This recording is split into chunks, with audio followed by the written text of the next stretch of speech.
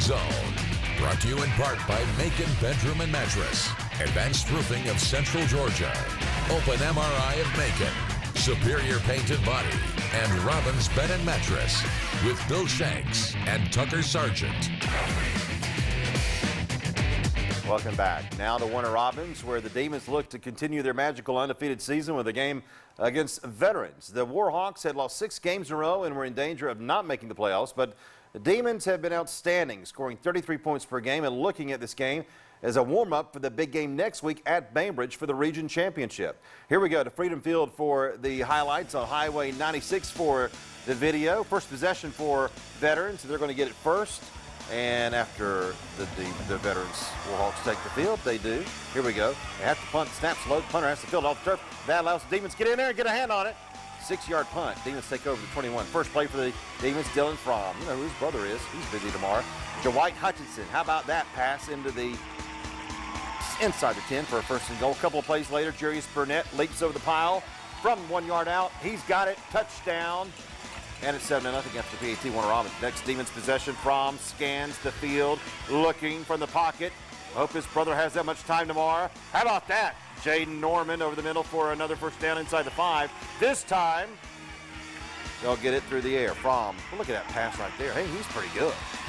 Norman, touchdown, back to the end zone, 14 0 Demons. On the ensuing possession for veterans, quarterback Leighton Pinkney looking to go deep, but it's overthrown, and Keyshawn Duval, the Demons, tracks it down, gets the INT, and inside the five-yard line, after a penalty, gives him some breathing room. Jarius Burnett takes the handoff, and watch this kid run. Oh, man, keep on going. 40, 45, 50, 40, run, run from him. But you know what? They're going to catch him. Oh, man, he ran out of gas on the one-yard line. How about that? But Javen West would let Burnett take a breather on. He would punch it in for the touchdown. Demons up 21-0. They go on to win it 56 to 17. Warner Robins now 9-0 takes on Bainbridge next week. Veterans now 2 and 8. They're likely done. Let's stay in Warner Robins. McConnell Talbert. Hoco at Northside.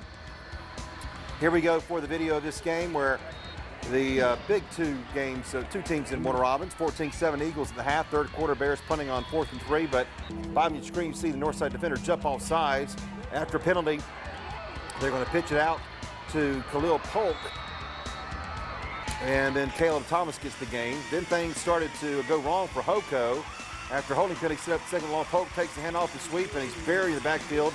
That's up a third and 28.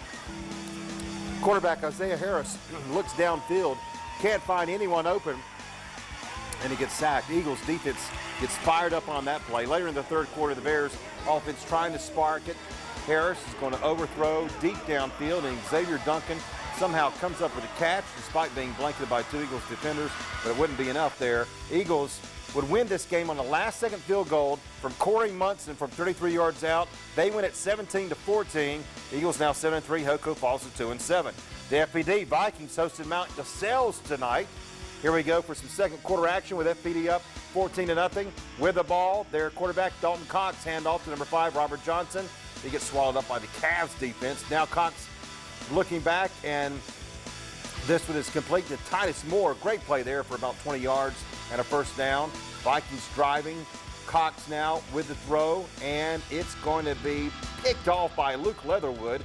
Big INT for the Cavaliers right there as they're trying to get some momentum. They would struggle offensively, however, as the running game just got nothing on this play right here, so FPD would get it back, and they would stall offensively as good defense there. Cavs try again, hand off to number 20, Zach Taylor coming, who's going to scamper for a few yards near midfield.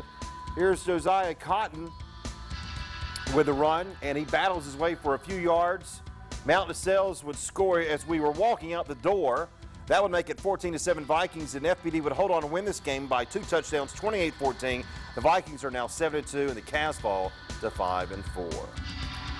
We've got the other big game in Region 7 as our game of the week, Stratford at Tattnall, right after this.